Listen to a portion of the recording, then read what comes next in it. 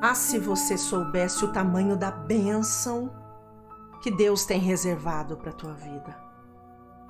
Olha o que Deus manda te entregar. No livro de Isaías 43, 18.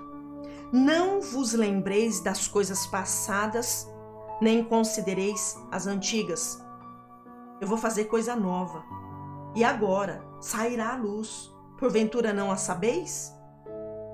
Eis que eu porei um caminho no deserto e rios no ermo. Há um Deus que quer te dar uma vida em abundância para que você floresça e dê fruto, mesmo que o terreno onde você está plantado seja improvável. Mesmo que as circunstâncias ao teu redor digam não. Deus hoje está dizendo sim para a tua vida, viu? Há um Deus todo-poderoso capaz de transformar a terra seca em solo fértil. Você sabe o que Deus está falando contigo? E não há nada nem ninguém que possa impedir o que o Senhor está prestes a fazer na tua vida. Quantas pessoas não, não dão nada por você? E você começa a se sentir inferior diante daquela situação. Ah, eu não vou conseguir dar frutos nunca. Dá. Sabe o que, que você vai dar? Não importa o terreno que você foi plantado, porque é Deus quem vai regar, é Deus quem vai fazer você florescer. Por isso, esse processo que você está passando hoje não é em vão.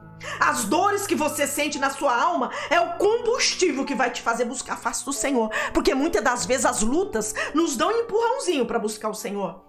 Hoje eu tô aqui para dizer para você que o Senhor tem ouvido o seu clamor. E quero dizer mais. Deus está trabalhando nesta causa por você. Aquieta teu coração. Mesmo que você se sinta inferior, mesmo que as pessoas olhem para você e não dê nada, ei, Deus está cuidando de tudo. Descanse e confia.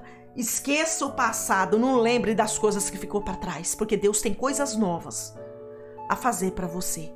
Coloca a tua mão no teu coração. Pai, entra na vida desta pessoa. Vai tirando mágoas que ela tem dentro do coração, ressentimento por ter ouvido palavras negativas, palavras que não ajudaram ela em nada, pelo contrário, tentaram fazer ela parar, tentaram ela fazer desistir. E muitas das vezes, Deus, ela se pega pensando, mas hoje a tua palavra está dizendo: não vos lembreis das coisas passadas, nem considereis as antigas. Sabe por que, que Deus está dizendo isso para ti? Porque Ele está fazendo coisa nova, tem história nova sendo escrita na tua vida, ei. Tem uma página em branco que Deus está escrevendo a história que Ele tem para você. Em nome de Jesus, Pai. Traga paz nesta vida. Que nenhuma palavra, nenhuma sentença do inferno venha afetar a fé desta pessoa. Em nome de Jesus eu oro e profetizo a bênção e a vitória sobre a tua vida. Em nome do Senhor Jesus. Vai nos comentários e diga assim: olha. Eu tomo posse desta palavra para minha vida, eu recebo. Dê o seu like, tá bom? E se inscreva no nosso canal da Live da Fé. Todos os dias Deus tem uma palavra poderosa. Ativa o sininho, porque todos os dias, seis horas, você vai ser notificada e vai receber esta palavra e esta oração. E Deus vai falar grandemente contigo. Todos os dias, Deus tem uma palavra para o teu coração.